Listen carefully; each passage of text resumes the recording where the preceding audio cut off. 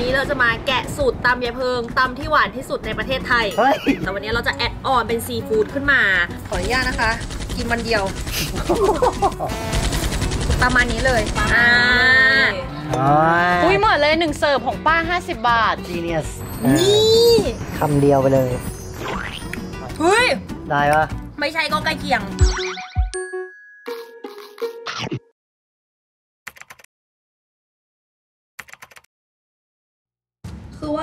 โมอะค่ะ เป็นอินฟลูเอนเซอร์ค่ะ แล้วก็กำลังทำรายการ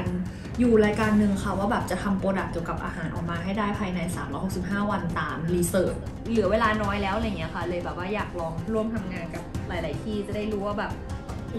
จะพยายามให้เต็มที่คุณหมอขอบคุณมากค่ะ ขอบคุณค่ะสวัสดีค่ะ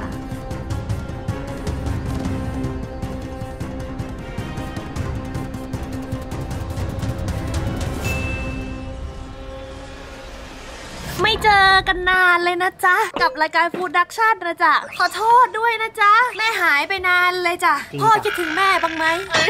ขอโทษจริง ๆ ทุกคนคือ Fooduction ตอนแรกเราจะ EP ละหนึ่งเดือนใช่ปะเดือนละหนึ่ง เดือนละหนึ่งที EP ใช่ปะแต่เราหายไป เดือนครึ่ง sorry เพ ราะว่าช่วงที่ผ่านมาต้องสารภาพจริง ๆ เลยว่า เราอะเปิดตัวขายบิกินีไป แล้วเราอะกำลังจะมีซิงเกิลที่3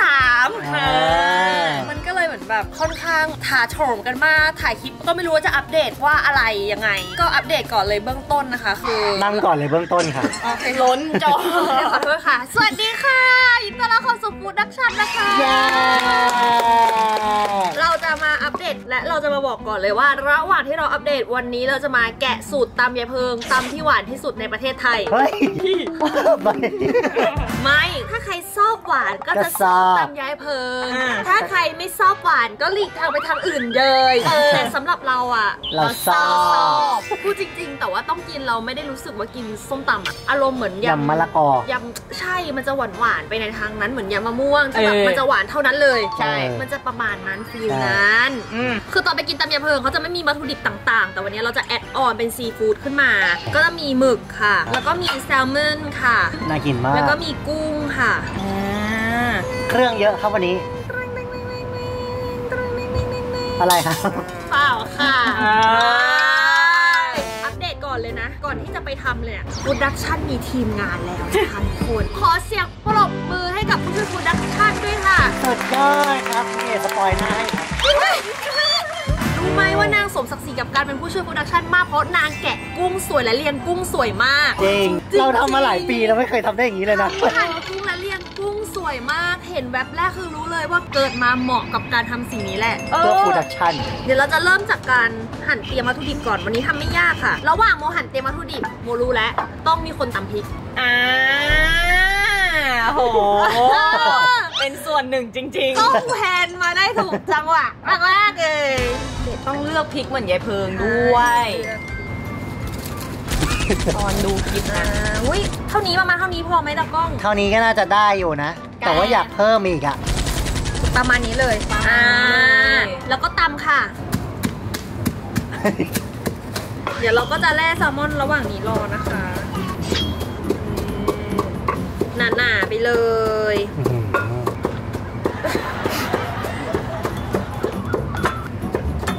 ประมาณนี้หรือเปล่า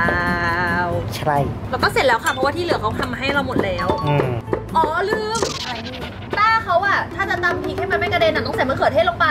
จะลืมเราขอโทษทีนะ เราปล่อยให้นายตำคนเดียวต้องนานน่ะ คือเขาจะตำจนมะเขือเทศไม่มีมะเขือเทศอยู่เลยอะต้องหัวเราะด้วยสูตรอย่างอื่นอะ ของเออสมากเต็ปแรกคือเราสรุปโพลกันไปแล้วนะคะ ที่แบบเพื่อนๆโหวตกันมาครั้งที่แล้วว่าเราอยากให้ทำเป็นสัตว์บกหรือว่าเป็นซีฟู้ดใช่รอบนี้เราไม่ได้มานั่งขีดเส้นกันเองแล้วนะจ๊ะ เราเรียนรู้แล้ว เรามีทีมงานแล้วเราเลยใช้ Excel ค่ะ ผลสรุปออกมาแว่ว่าสิ่งที่คนดูอยากให้เราทำคือซีฟู้ดค่ะ โอ้โหกะไว้ไม่มีผิดครับ คือเราก็คิดไว้อยู่แล้วแหละว่าคนดูเราอะชอบของแบบนี้อยู่แล้ว เพราะว่าสังเกตจากเวลาทำคลิป ถ้าทำเป็นซีฟู้ดอะยอดวิวจะดีใช่แต่ถ้าทำเป็นสัตว์บกอะอย่างเดียวที่ดีคือหหมูมู กระทะนอกนั้นก็คือกระพงกระเพราพวกเธอก็ไม่ค่อยอยากดูกันเท่าไหร่ ทุกคนมันไม่ได้ง่ายเลยนะเนี่ย ที่เราหายไปจริงๆอะนะคือเราไปคิดมาว่าเราจะทำเป็น product อะไรแล้วจริงๆ เพราะมันถึงขั้นตอนที่เรารู้สึกว่าเรา research ครบแล้วแหละ มันถึงจุดที่เราจะต้องตัดสินใจ ตัดสินใจแล้วว่าเราต้องทำอะไร เราก็เลยหายไปค่อนข้างนานมาก แล้วเราก็ตัดสินใจได้แล้ว แล้วเราก็ตัดสินใจ คือเราก็ค่อนข้างหายไปนาน โอ๊ยอันโอ๊ยจะมีเรื่องเหรอเฮ้ย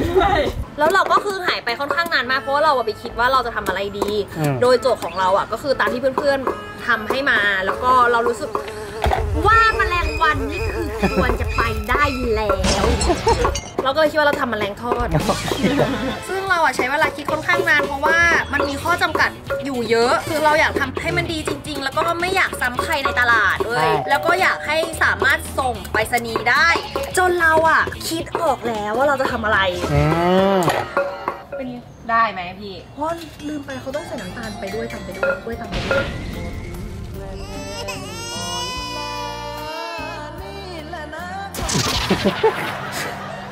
พูดเรื่องจริง เราใส่ไปประมาณ เท่านี้เลย เราเรียนแบบเขาเลยกะเอาก่อนกะเอาก่อนแต่นี่ว่าประมาณนี้กำลังจะดีแล้วเราก็คิดออกแล้วว่าเราจะทำอะไรอะไรพี่คุณก็อ๋อรู้ถ้าตามสคริปต์พี่บอกว่าหันมาแล้วถามว่าอะไร เรารู้แล้วว่าเราทำอะไรแต่ว่าเราอะยัง บอกไม่ไรยังบอกไม่ได้เพราะว่ามันขอ test test ก่อนประมาณสักรอบสองรอบให้มันรู้ว่าแบบ เออเป็นยังไงจริงๆอะไรอย่างเงี้ย เออ แต่ว่าคือตามโจทย์ตามแบบที่ทุกคนโหวตมาแน่นอน บอกเลยว่าเราไปดูในตลาดแล้ว คือยังไม่มีใครทำเป็นแบรนด์ออกมาจริงจังเลยกับสิ่งนี้ คือสิ่งที่เราจะทำอะมันอยู่บนโต๊ะนี้แหละ มันเป็นองค์ประกอบส่วนหนึ่งของโต๊ะนี้ นี้ไม่มีอะไรจะถามเพื่อนๆ แต่อยากจะให้เพื่อนๆพอสแล้วดูหรือไม่ต้องพอสหรือดูไปเรื่อยๆ แล้วสังเกต แล้วคิดว่าพี่โมจะทำอะไร อย่าตอบว่ายำแมลงวัน ใช่ ตอนที่พวกแกรู้ครั้งแรกแกรู้สึกยังไง รู้สึกว่าไม่มีคนทำจริง แล้วก็ถ้าทำได้น่าจะเท่มาก รู้สึกว่าจะได้กินอันเนี้ยต่อไปแบบไม่ยุ่งยากแล้ว นี่ ของที่เราทำอะมันทำให้ทุกคนได้รับความอร่อย ความสะดวก แล้วพอเราได้โปรดักต์แล้ว เราก็เลยเริ่มเลย เริ่มจากการที่คุยกับโรงงาน หาโรงงานก่อนเลยว่าโรงงานที่รับทำสิ่งเนี้ยมีอะไรบ้าง ของผมคือมันเป็นในส่วนของรสชาติ อันเนี้ยถามว่าทำได้ไหมเราทำได้แน่นอน นะครับ ก็ถ้าคุณโมสนใจตัวเรื่องของสารเคมีตัวนี้เดี๋ยวไงเดี๋ยวผมลองถามทาง RD เนาะแล้วก็ให้เขาลองพัฒนาสูตรให้ แล้วก็ส่งตัวอย่างไปให้ลองดู ถ้าเป็นสูตรเดิมมันก็จะประมาณเจ็ดวันไม่เกินนี้ อันนี้มันมีเพิ่ม texture ลงไปด้วยเนาะมันก็จะจะประมาณสองสองสัปดาห์ แต่ว่าเบื้องต้นเนี่ยเราก็จะทำให้เร็วที่สุดนะครับก็เดี๋ยวโมแจ้งตัว requirement ของคุณโมเนี่ยให้ RD เขาลองพัฒนาดูให้ แล้วคุณโมเคยทำอะไรประประมาณนี้ไหมคะ มีคนเคยแบบว่ามีไอเดียนี้ไหมคะ ไอเดียคุณโมยังไม่มี แต่ว่าจะมีเป็นเรื่องของตัวผงจิ้มตัวซีฟู้ดอะไรอย่างเงี้ยทำแต่ถ้าเป็นตัวเราให้มันอย่างเงี้ยเดี๋ยวไม่มาโอเค เลิศค่ะ อย่าอย่าเพิ่งอย่าเพิ่งไปบอกใครนะคะเดือนตุลาคมนี้เราคาดหวังไว้ว่าเราจะคุยกี่โรงงานคะสิบอืมเพื่อให้ได้ partner ที่ดีที่สุดอืมและได้ทำของออกมาแบบดีที่สุดเพราะว่าสิ่งที่เราจะทำอะมันต้องใช้ฟู้ดไซน์คือศาสตร์ ของอาหารทางวิทยาศาสตร์เข้ามาช่วยอืมซึ่งเราอะก็แบบได้ดูเรื่องแพคเกจจิ้งคร่าวๆแล้วด้วยว่าแบบมูดแอนโทนอะเราอยากได้เป็นสีอะไรเป็นยังไง เราก็ให้จำได้ไหมที่เราให้แกโหวตจำได้ อ๋อ ที่เราตบมือกันดังมากปะเราโหวตสีเดียวกันคือ สีส้ส้มมอุ้ย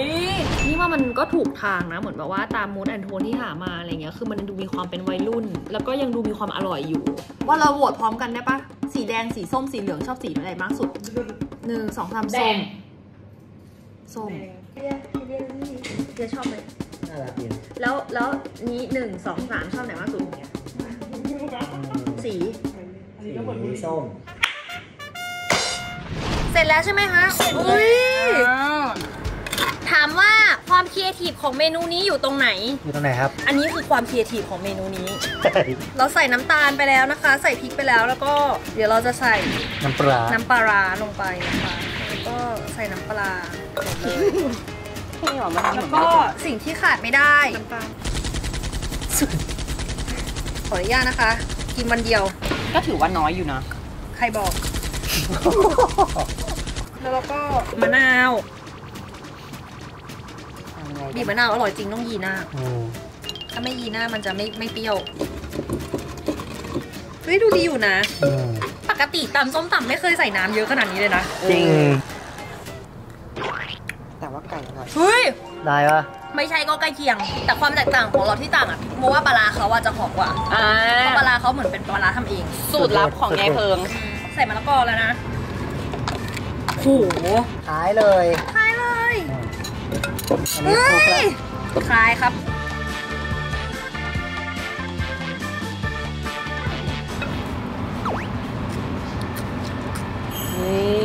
เราตักใส่นี่ก่อนแล้วกัน อุ้ยเหมือนเลยหนึ่งเสิร์ฟของป้า 50 บาทจีเนียสนี่แล้วเราก็นี่โอ้โหอุ้ยน่ากิน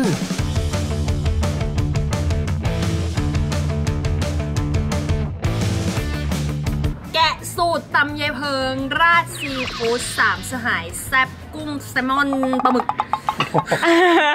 ชื่ออย่างยาวให้ดู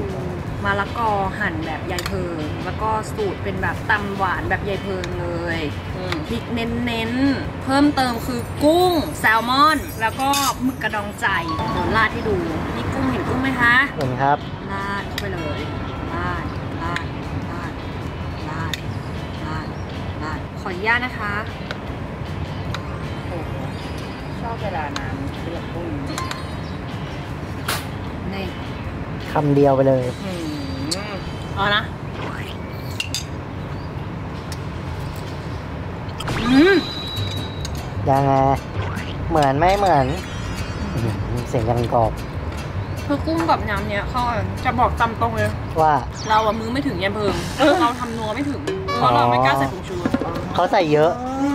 ต้องใส่เยอะมันเลยนัวมาก อืม แต่แค่นี้เราว่าอร่อยแล้วกินเองที่บ้าน อ่า เสียงอย่างกรอบจะหั่นมะละกอแบบเนี้ย ก็คือกรอบเหมือนเจเพิงเลยเออมแต่บอกเลยนะว่าเลิศเลิศเลิศเลยมะละกอกรอบมากนี่นะคะแซลมอนนะคะ โอ้โหชุ่มฉ่สีน้องนี่ใช่ำอืมหมูสีน้องดูเหมาะกับทำในเพิงมากจริงมันนัวกรอบกรึบ มันนัวกรอบกรึบหยุดไม่อยู่ต้องขออีกคำอุ้ยอืมแซลมอนมันนัว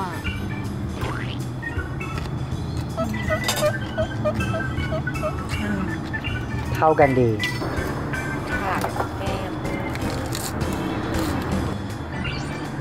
โอ้โหตื่นเฮ้ยบีบมะนาวใส่ปากเพิ่มคือดีปรุงก่อนเลย ดูว่าปรุงจะกรอบกรุบกรอบไหม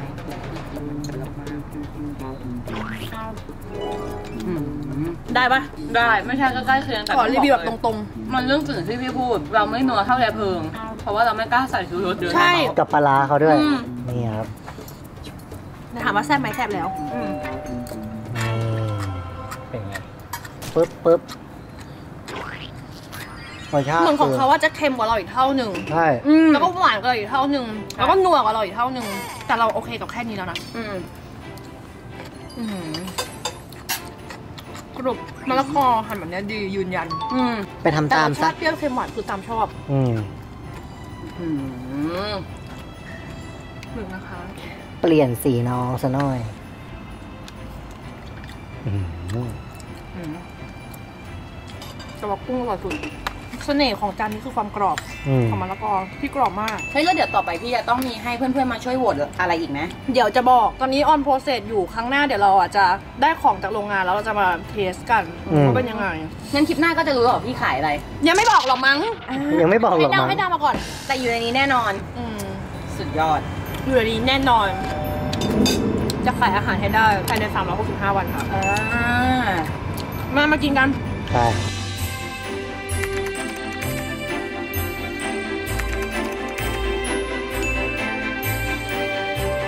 ปิดคลิปดีกว่า เพราะว่าแสงมันจะไปแล้ว ปิดคลิปแล้วนะทุกคน เดี๋ยวไว้เราเจอกันใหม่ในฟูดดักชั่น EP หน้านะจ๊ะ อย่าลืมคอมเมนต์มานะคะ